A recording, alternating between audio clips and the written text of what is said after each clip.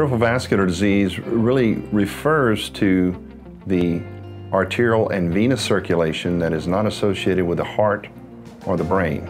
Obviously, all the tissues of the body require normal blood flow in order for them to perform optimally. What I primarily want to talk a, bit, a little bit about today is the extremities, uh, the arms, and specifically the legs.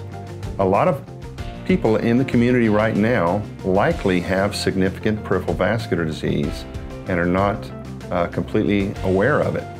Peripheral vascular disease, uh, and uh, specifically arterial disease, is one of the leading causes of amputations in this country. So we certainly uh, would not like to wait until we were looking at an amputation before we had uh, an evaluation of the system.